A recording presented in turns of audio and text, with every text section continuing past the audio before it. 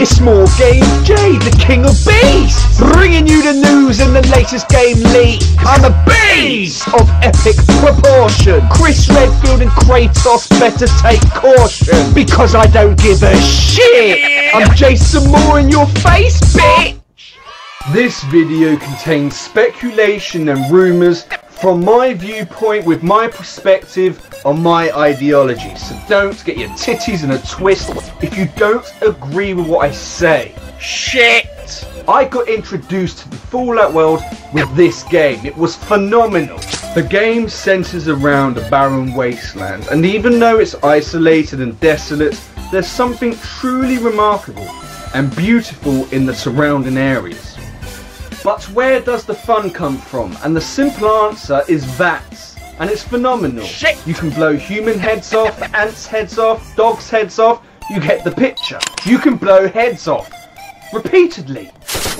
What's up, y'all? It's Jason Moore. News. Apparently, the new Assassin's Creed game needed a miracle to get on consoles. If you're playing Borderlands 2, there's DLC coming shortly. If you're playing Skyrim, there's not any on the PlayStation, but on other platforms there is. What's up, y'all? It's Jason Moore. News. Whether or not it's with the NPCs or the towns you visit, or simply walking alone at night in solitude, with your companion with the stars beaming down upon you, it can get emotional. And that is what I love to see in video games. I want it to rival films and literature.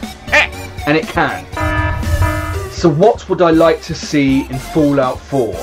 Number one, I would like to see more variety and textures used in duplicated areas. Number two, better facial expressions and take some of the positives from Skyrim.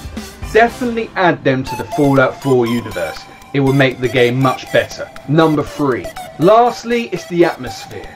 It's one of the key elements that made Fallout 3 so much superior to New Vegas because even though it was better and improved, it didn't have the charm.